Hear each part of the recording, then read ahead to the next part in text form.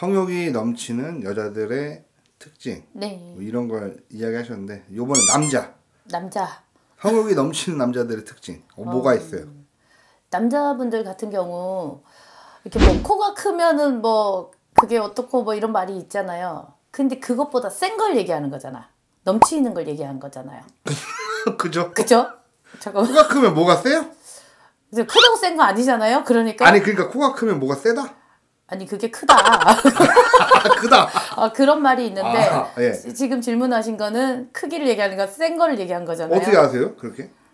그거를 센지 사주를 봐야 알죠. 사주를 보면 나오는데 어 6월달, 어 5월달, 6월달 통계적으로 볼 때 5월달, 6월달, 7월달에 태어나신 분들이 좀 센 편이에요. 사주상으로 성욕이? 보면, 예, 사주상으로 어. 보면은 이게 더울 때잖아요. 이 열기가 많을 때 자기 그리고 사주에 그 뜨거운 열을 많이 가지고 있는 사람들이 보면 좀 센 편이고요. 그리고 사람을 이렇게 볼 때 센 사람들은 남자분들은요 한국에서 이렇게 뚫어져 알아봐요. 그리고 어떤 여자분이 오든지 새로운 여자를 보면 말이 많아져요. 어, 그뭐 때문에 그런지 모르겠는데 뭘 하려고 그런지 모르겠는데 말이 많아지고 말이 없던 사람도 말이 많아지고 그리고 그 사람 눈을 뚫어지게 쳐다봐요. 이게 여자분 같은 경우에는 이렇게 훑어보거나 45도로 보거나 이게 있으면 남자분들은 이렇게 정면으로 어, 정면으로 뚫어지게 보고 그 여자의 눈을 뚫어지게 보고 어, 엄청 그걸 밝히는 사람은 남녀노소 가리지 않고 새로운 사람을 다 쳐다봐요.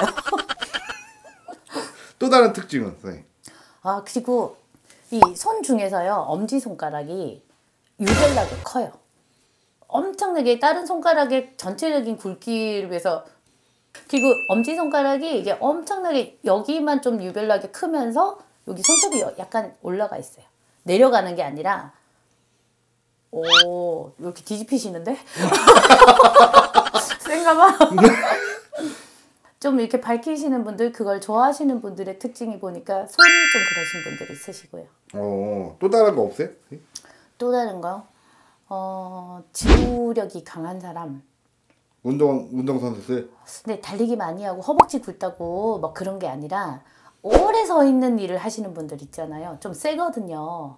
어, 이미 하체가 기본 단련돼 있기 때문에 그래서 세시다 보니까 많이 밝히게 되고 많이 좋아하시겠죠?